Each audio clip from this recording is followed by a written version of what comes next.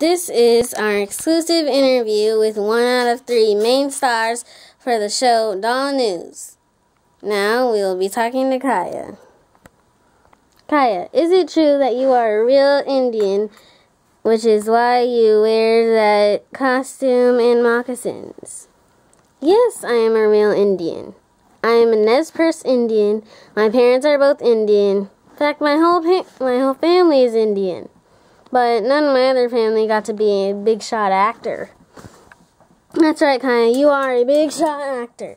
So why don't you tell us about that?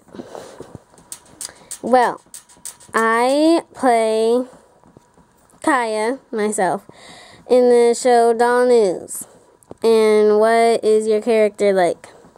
She's very fierce. She thinks she can get whatever she wants, and she's kind of abusive and mean.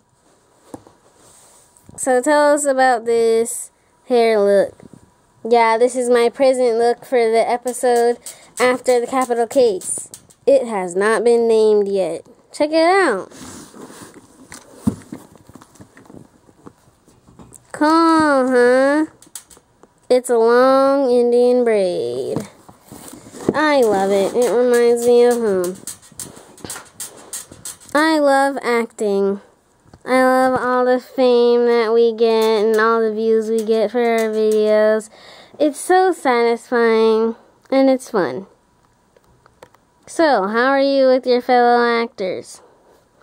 Ugh, Ashley, I hate Ashley. Jimster prefers her over me. My life in this video is exactly like it is in Doll News.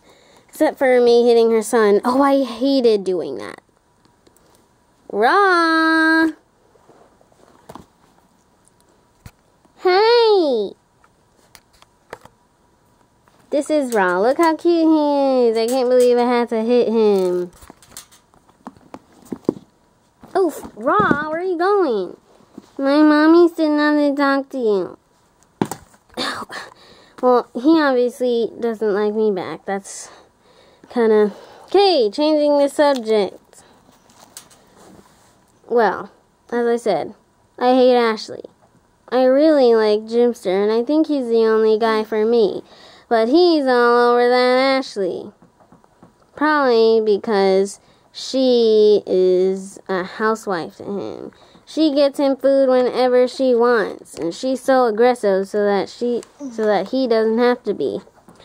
Me, I'm gentle, but I can hunt. Jimster probably wouldn't want to eat anything from the woods though. He likes Burger King. Part of the reason why he's repulsed by me, probably. I'm sorry. End the interview. And that ends our exclusive interview with one out of three main star, Kaya from Doll News. Wow, there's a lot of emotional breakdowns today, huh?